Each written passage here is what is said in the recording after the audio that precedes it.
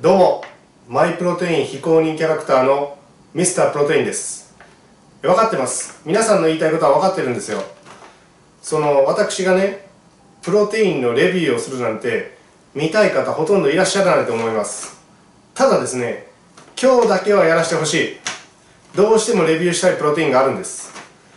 でなぜレビューしたいかと言いますと私 Twitter よく見るんですけどもその Twitter でこの味だけは本当に美味しいとみんなつぶやいてるんですよね。その味がこちらです。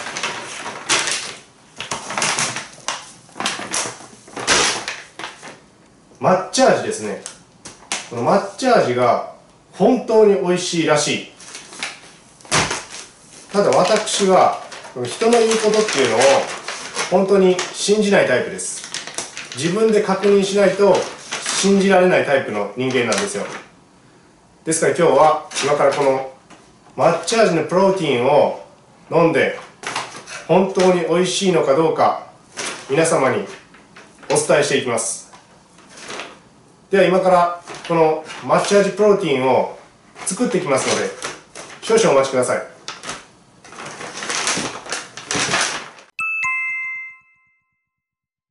はいはいはい。はいはいはいはい。はいできましたね。こちらが牛乳、まあ、いわゆるミルクに溶かしたプロテインですね。でこちらが水ですね。いわゆるワーダーに溶かしたプロテインになります。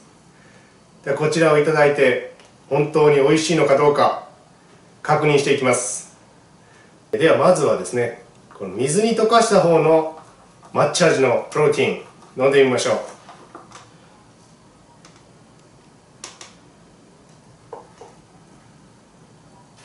どこだ？どこだ？どどうすればいい？どどうすれば飲める？うんうん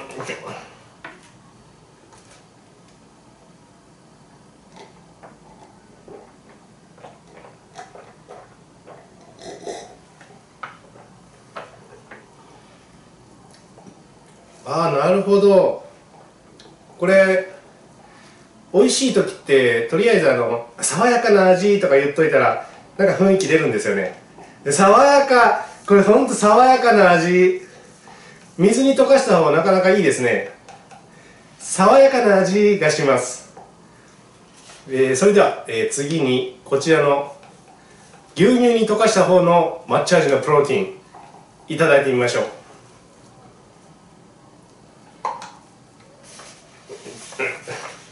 どどどここかここかここか。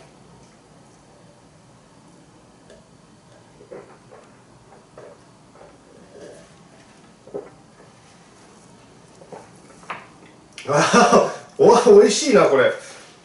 これあれですか？あの美味しい時ってあの濃厚とか言ったらこれ美味しく伝わりますかね？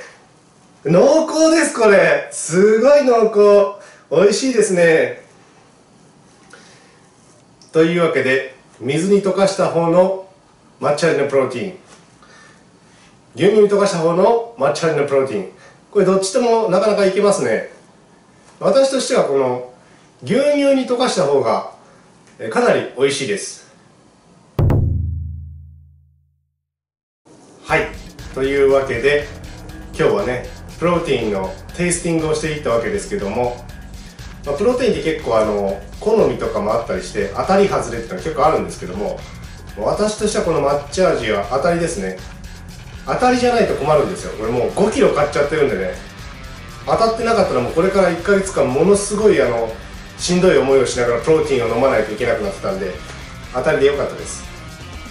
で皆さんもねこの抹茶が嫌いっていう人はあんまおすすめしないですけども、まあ、抹茶飲めるよっていう方であればこちらの抹茶味のプロテイン、えー、私おすすめできますんでぜひテイスティングしてみてください、えー、それでは本日もありがとうございました。